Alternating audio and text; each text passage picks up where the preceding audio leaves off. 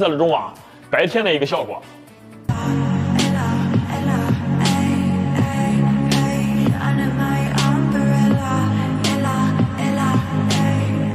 首先，我们先准备好工具哈，一把小一字，一把 T 二零的螺丝刀。好了，开始施工。我们来换上银色的中网哈，拿个小一字螺丝刀，从这里把这个卡子往那一撬就行了啊。下来了，这边有三六零全景的一个插头，拔掉它，捏住两边，一拔就下来了。把这个灯的插头拔掉，一拽就下来了。现在把这个灯条移在银色的中网上哈，这边有几颗 T 二零螺丝，把这几颗螺丝拧下来，这边有卡子哈。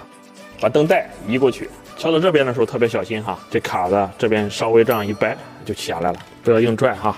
摄像头也移植过去，再把灯条卡在新换的中网上，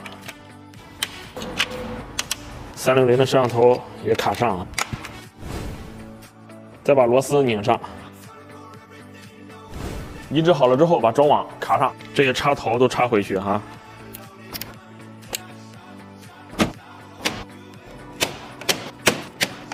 这是银色的中网，白天的效果。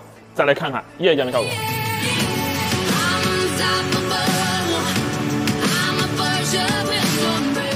两款中网效果已经看完了，总体看下来的话，银色的中网哈要比黑色的哈晚上亮度更高一些，发光的效果更好一些，因为银色的会反光。但是白天看的话，运动气息还是黑色的更运动。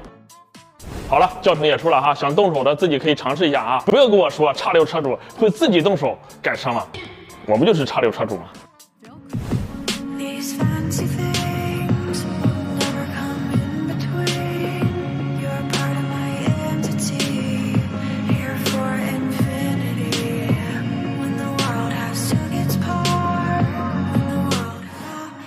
stand under my